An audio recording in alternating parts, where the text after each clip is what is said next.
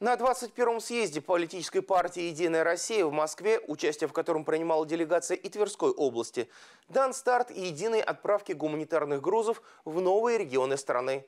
Так, в канун Нового года в Бердянск из Верхневолжья отправлено более 6500 подарков. Напомним, что соглашение о сотрудничестве между Верхневолжьем и Бердянским районом было подписано в августе прошлого года во время рабочего визита на эту территорию губернатора Игоря Рудени. При поддержке нашего региона там ведется восстановление социальных объектов и коммунальной инфраструктуры. Местные жители получают гуманитарную помощь. Тверская область постоянную поддержку оказывает военнослужащим, находящимся в зоне СВО. В сборе гуманитарных грузов самое активное участие принимают неравнодушные жители нашего края, предприятия, волонтеры, депутаты разных уровней.